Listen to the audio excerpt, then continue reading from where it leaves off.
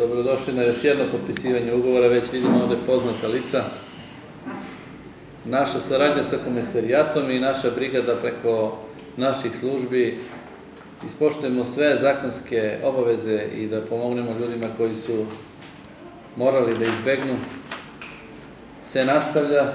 Mi smo i u ove godine opredelili neka sredstva iz budžeta da zajedno sa sredstvima koja dolaze iz Republike obezbedimo građevinski materijal za nastavak naših, naših aktivnosti oko e, kompletnog uređenja vaših kuća i što lagodnijeg i što normalnijeg života na području Pirota.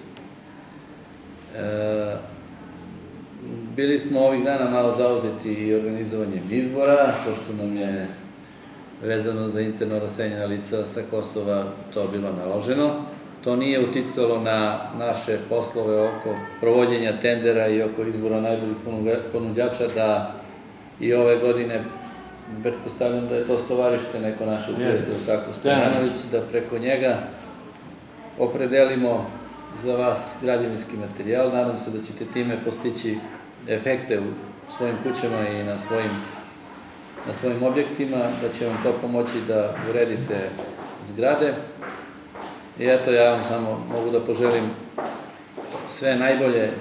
Nadam se da će biti još grantova, da. sve što, prati, što se dešava na nivou Republike, sve što ministarstvo obezbeđuju, sve što radi komisarijat, mi pomno pratimo.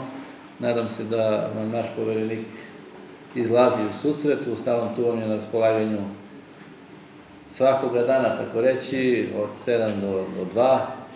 Verujem da sarađujete već s njim dobro, da se znate potpuno i u dušu.